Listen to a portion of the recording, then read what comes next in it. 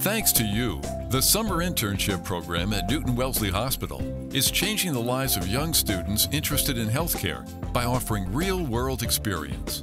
This paid program allows students the opportunity to be exposed to practical and meaningful work, an opportunity they would not normally be able to afford. My experience as a healthcare intern has influenced my goals and aspirations by exposing me to new careers. I was able to uh, network with other people because I got to meet a lot of uh, good uh, radiologists and people that I could definitely see helping me in the future. And Newton Wellesley has really just confirmed that I want to be in like the healthcare field, especially like working in a hospital with others around me.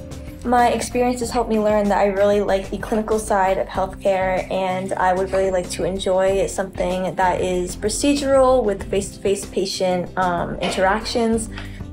Since it began, the program has grown from two internships to 22.